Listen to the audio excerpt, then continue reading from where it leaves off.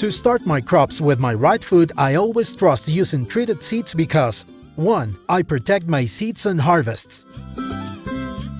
2. My crops increase its production. 3. Minimizes the risks to human health and to the environment because of the precise application of products.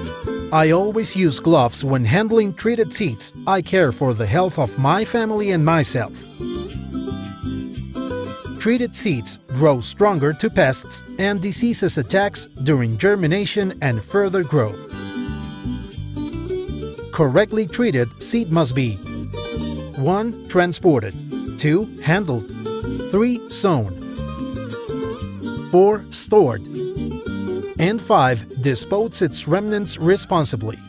Finally, I always follow the instructions on the label for a responsible final disposition of the empty containers of my treated seeds.